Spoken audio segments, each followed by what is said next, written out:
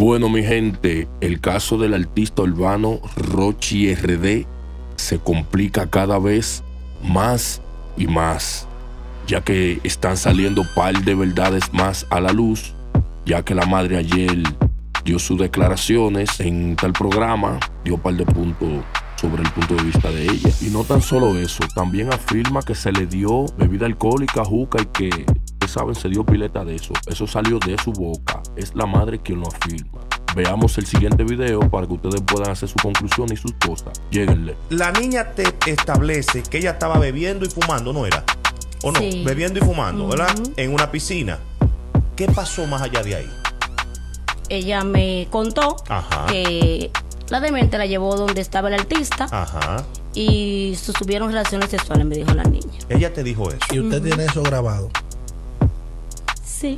Ok, bueno. Ok, ok.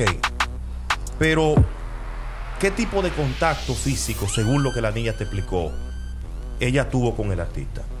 Si es que lo tuvo, o sea, si, lo puedes, si no te sientes incómoda en narrarlo, porque es un tema bastante delicado. Incluso tu vida está en juego con esta situación. Sí, claro. Eh, nada, no, no voy a ir tanto detalle así como ella me contó porque No, no te Es sientes incómodo, cómoda. no te sientes cómoda. ¿Tu No. niña había tenido relaciones sexuales anteriormente? No. ¿Tu niña no había tenido ningún tipo de, de este tipo de comportamiento, como dicen? Porque se ha cuestionado mucho que si la niña, eh, aunque no viene el caso, pero sí se dice que la niña era una desacatada, que la niña vivía en la calle, que la, realmente estas, estas cuestiones son verdad. es que, mira, yo te voy a decir algo. La gente se canta y se llora A ver, porque resulta Ajá. ahora que la niña es virgen. Eso es lo que dijo la parte contraria. No, no, no. Lo que establece según el peritaje, te digo por lo que, por lo que tenía, por lo que leí en el expediente. Lo que establece el peritaje del INASIF es que la niña es señorita. Así, literalmente. Ujú. Entonces, adelante. Eh, me perdí. No, no, no. Que tú, dijiste, tú, tú, tú de- tú decías que ellos se cantan y se lloran porque que la niña tiene un millaje, pero que también es señorita. Por ahí era la cosa. Exacto. Entonces, mira, lo que me hizo para para que me pueda entender perfectamente. Sí. Lo que me hizo ir al Ministerio Público Ajá. fue eso que la niña me contó. Yo voy allá, como toda una madre, voy allá y le pongo la querella. Cuando le pongo la querella, eh, le cuento a la fiscal, justamente con lujos y detalles, lo que la niña me contó. Ok. Me dice, tráeme la niña. Llevo la niña. Le hicieron los exámenes, tanto psicológico como, Físicos. como físico. Pedí que me dieran, que me dijeran lo que salió en el examen como madre. Una constancia de lo que es del, del peritaje. Nunca me la dieron, Pero eso está en el expediente, Maribel. pero no me la dieron. Ok. ¿Qué Yo- te alegaron?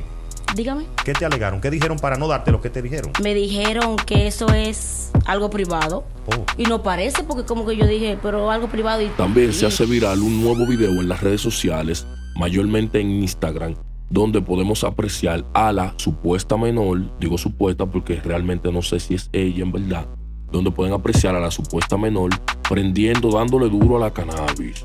Esto está delicado, mi gente. Yo lo voy a censurar el rostro, ustedes saben, porque en verdad nadie quiere tener problemas ahora mismo con menores ni nada de eso. Pero les voy a mostrar el siguiente video que anda viral en las redes sociales. Lléguenle.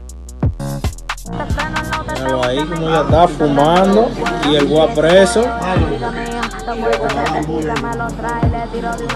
Yo soy yo. Mírala, arrebatada y todo. Saquitera. What? 16 años. Realmente es triste ver un artista de la magnitud de Rochi RD envuelto en este tipo de situaciones, señor.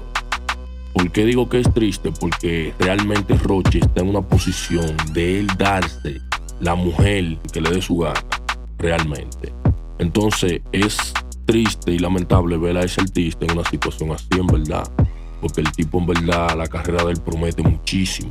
¿Entienden? A nivel nacional e internacional. También sé que venían un par de colaboraciones muy importantes Y luego de este caso, yo sé que quizá no va a tener el mismo impacto en la sociedad, ¿entienden? Y su misma música.